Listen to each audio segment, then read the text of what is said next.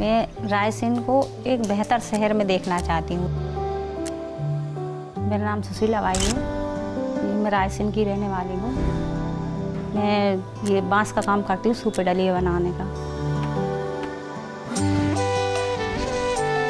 ये हमारा पीढ़ी दर पीढ़ी से चला आ रहा है।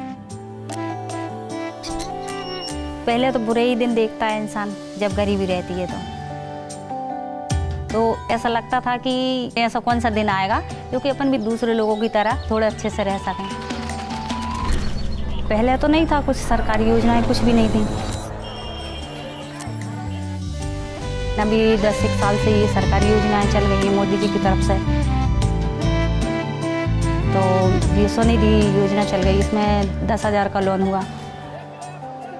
जैसे बढ़ते बढ़ते अब निजी अपना खुद का धंधा हो गया, चला रहे हैं।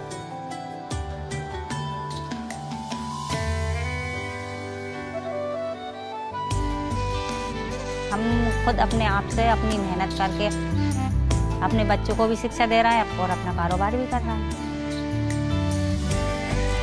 जो महिलाओं को रोज़गार पता नहीं है, जो घर में से नहीं निकलती हैं, अपन उनके घर जाते हैं। लोग देखेंगे, समझेंगे तो उनके दिमाग में भी ये आएगा कि आज ये इस कारोबार में आके इसने अपने घर को अच्छा कर लिया। अपने परिवार को अच्छा कर लिया तो हम भी क्यों ना करें ऐसा? लोगों की सोच बदलना है जैसे एक महल्ला बेहतर बना तो एक शहर बेहतर बन जाता है। तो जब एक शहर अच्छा होगा तो एक शहर को देख के बाकी दूसरा शहर बेहतर होगा। उसको देख के पूरा देश बेहतर होगा।